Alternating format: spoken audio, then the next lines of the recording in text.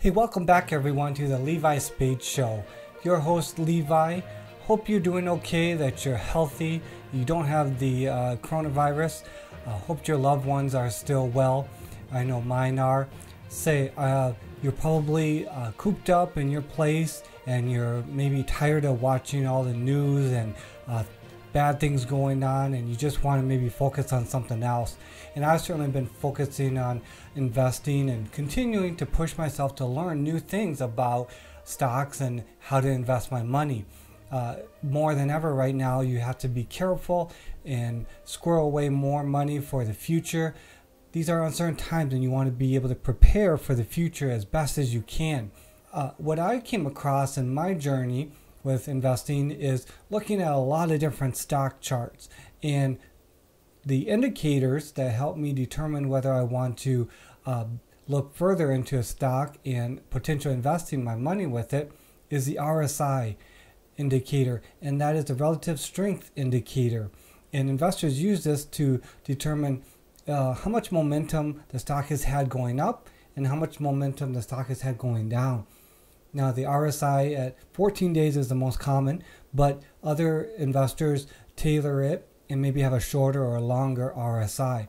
So, uh, with the problem of spending so much time looking at different and all these charts, I wanted to come up with a tool that would allow me to glance at one sheet and see the list and be able to see right away the RSI for 10 different stocks. How do you do that? You know, if you would jump over to, say, uh, Yahoo Finance and try to find the RSI in a list of the stocks that you have on a watch list, you're not going to find it. You know, if you go to uh, TD Ameritrade and you look at the uh, list that you put together, you're not going to be able to find it very easily. It's going to be in the tiny in the bottom right corner, and then you got to flip to the next stock page. You know, if you were to go over to say FinViz or Charles Schwab's, uh, it's just not a very easy way to do this. Investors and even myself have discovered a way where you're able to create a free tool on your own and be able to uh, refer to it anytime and customize it, color it the way you want, and format it, and be able to easily access it anytime on the go and be able to easily see uh, what's going on with the stocks that you're paying attention to. Let's dive over to my computer and not waste any more time. Boom! We're now here at my computer. You're looking at my desktop. I've got a web browser open and I've gone over to Google Sheets and all I simply searched for was Google Sheets in the uh, address bar and it directed me to Google's page here. So they let you know a little bit about Google Sheets and what it's possible. And this is what I use to help create the RSI indicator tool for the stocks that I want to keep track of. So let's go over to the uh, tool that I built. Here it is laid out. And I know there's a lot of data here. Don't be afraid of it.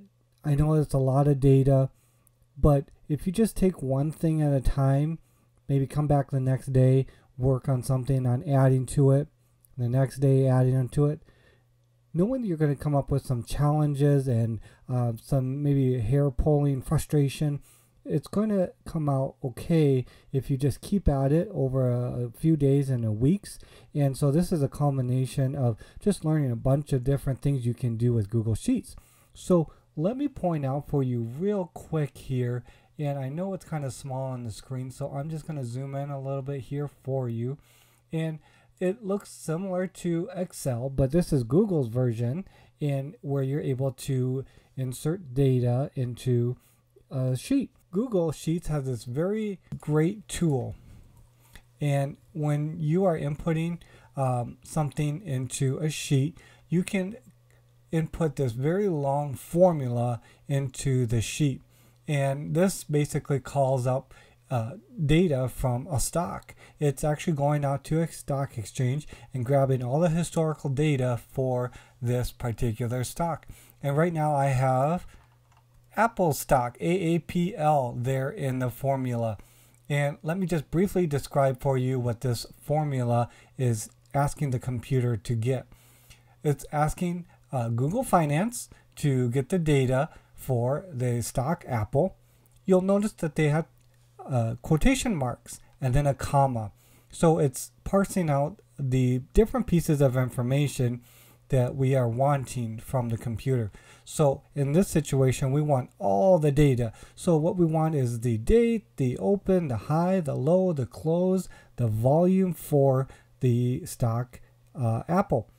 And what we they also want in this particular formula, what I wanted is the start date. And I told uh, Google that I wanted the uh, October 1st, 2019. And then I wanted the end date to be January 1st, 2022. And I put the future because I want it to update automatically each day. I don't want to have to each time, each day go in here and ask for the new data. So that's the great thing about Google Finance is it'll just automatically update as the markets go that each day. It'll just update the sheet for me. All I have to do then is go in here and look at it real quick and look at the tool that I built. In here, these are all different um, variables that you could change and customize. For this particular tool, uh, this is the best formula to use. What I've done is I've started to uh, create the uh, way that I'm able to get the true RSI for the Apple stock. So what I've done is I've calculated here the uh, change in the momentum of the close of the stock price for Apple. This one's basically subtracting uh, yesterday's date uh, close price from today's date. So no matter uh, if it's positive or negative, it's capturing that data and uh, telling me what the uh, value is for that. Here in the next column, the upward momentum is going to only return the uh, increases in the stock price. It's going to filter out all of the uh, downward movement of the stock. And then here, it's going to just calculate the downward movement and just put a zero if it's going up that particular day. And then in this column here, column J, what it's doing is it's coming up with the average 14 days for the RSI. So it's taking the last 14 trading days for the close and it's calculating the uh, upward movement for the stock price and coming up with a nice number for me. And then in the next column here, it's just simply calculating the downward movement of the stock and giving me the 14 day average for this as well. And then in this column here, what it's doing is it's uh, dividing the downward movement by the upward movement to give me the relative strength. And then lastly, this column here, stick with me. I know this is getting kind of complicated and long, but here is where it gives me the true RSI. So what it's doing is it's adding 100, subtracting 100, and then dividing this number and adding 1 to it.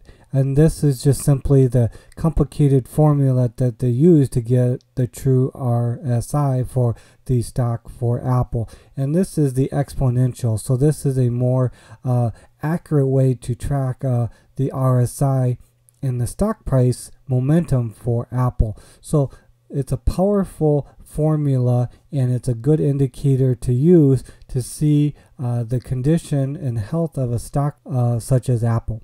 Now what you can see that I've done here is I've done some conditional formatting. And just like in Excel you can do this with Google Sheets is you can tell the computer that if you if it sees a number that's greater than 80 then highlight it in red and give me white text. So you can see all of the numbers here for the RSI it's gone in and highlighted everything in red with the number that's over 80 and then on the flip side uh, because I want to be able to see it turn green and know right away when a stock has an RSI of 20 or below, then it's a good time and potentially a good time to look at investing in the stock. So anything less than 20, highlight in green. So this is a very great way to automate a way for your sheet to be able to show you when is it time to buy and when is it time to sell.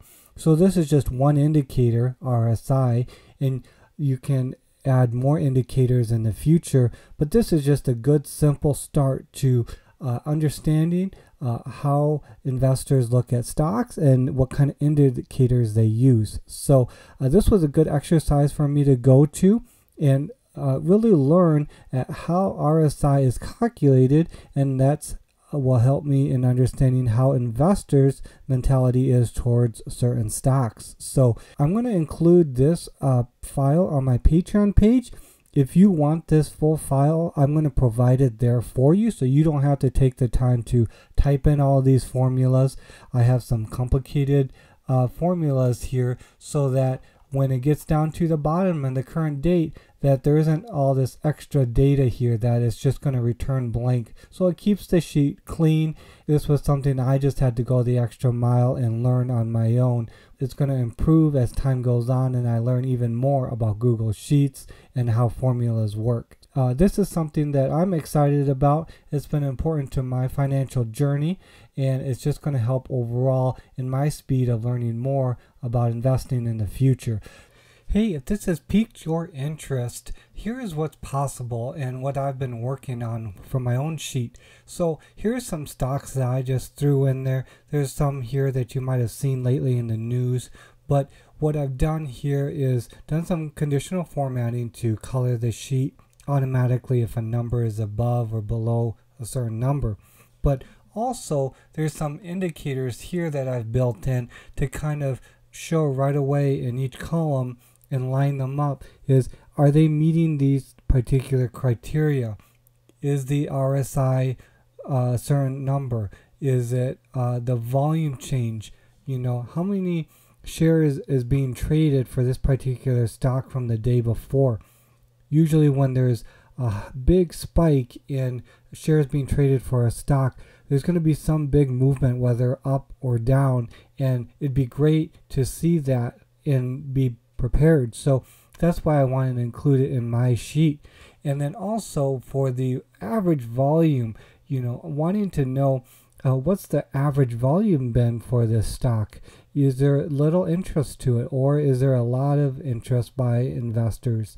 this is going to really dictate the stock price movement and I want a heartbeat on that and so that's why I've included my sheet and then lastly here is the uh, above 15 SMA simple moving average so like the average for volume I want to know the average stock price if it's below the uh, 15 SMA I want it green so that I'll know that it's a good time to buy green is to buy red is to sell. So if it's you know above the 15 SMA, then that's really good. The stock price is at a strong point, and I want it to be highlighted red with white text so that I alerts me visually. Okay, Levi, you should be looking at the stock and be prepared to sell it if it um, you know starts to go back down. So that's where you know I've got even more fancy here with Google Sheets and that is uh, is it time to buy or is it time to sell and with google sheets what you can do with computers now is you can tell it hey if all four of these uh, metrics indicators here are uh, true or false or a combination of them then highlight green. If they're all below a certain number and false then have it highlight red for me. So uh, that's a real quick rundown of uh, a sheet that I've been building so that I can quickly glance at just the stocks that I want to see and uh, different indicators that I think are most important for a stock.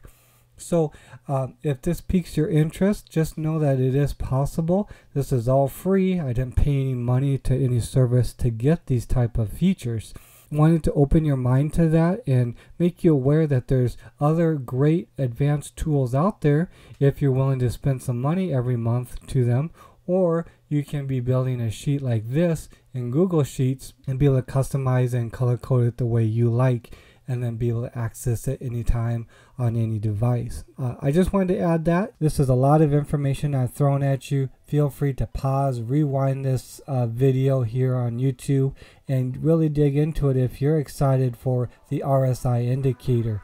Definitely let me know what you guys think. Have you guys already come up with a tool or found one online that you really love and use? I'd love to hear. Comment below and smash that like button if this video has been helpful and you learned something.